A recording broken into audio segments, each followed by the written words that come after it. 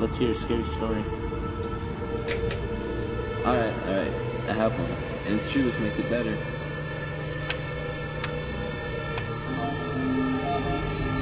So this guy, Robin Caster, he escaped the asylum.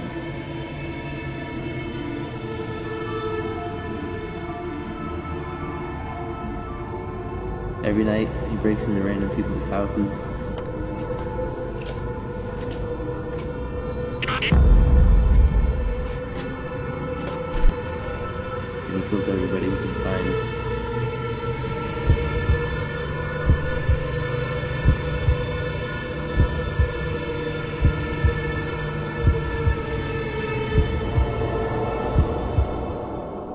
There's no way that's real. We'll see.